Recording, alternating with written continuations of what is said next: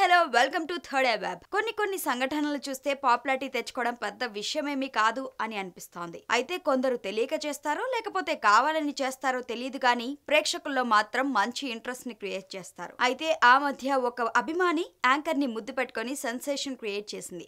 అయితే ఇలాంటి ఒక సంఘటనే పటాష్ షోలో కూడా జరిగింది. యాంకర్గా ఫేమ్ తెచ్చుకునేందుకు వర్షిని తాపత్రయపడుతోంది. పెళ్ళిగోల అనే వెబ్ సిరీస్తో బాగానే ఫేమ్ సంపాదించుకున్న వర్షిని యాంకర్గా గుర్తింపు తెచ్చుకునేందుకు బాగా బాగానే తాపత్రయపడుతోంది. వచ్చి రాని భాషతో ఏదో అలా నెట్టుకొస్తున్న ఈ భామకు మాత్రం యాంకర్ అనే ఐడెంటిటీ మాత్రం రావడం లేదు. ఢీ షోలో సుధీర్ రష్మిలతో పాటు వర్షిని కూడా పాల్గొన్న సంగతి తెలిసిందే. ఆ సమయంలో కాస్త బాగానే పాపులారిటీ వచ్చింది. ఈమెను తమ పంచులతో ఆడుకోవడం ఏమీ తెలియని తింగరి బుచ్చులా ఉండడం ఇక ఆమె వేసే పిచ్చి స్టెప్పులు ఇలా ఆమెను అందరూ గుర్తుపట్టేలా చేశాయి.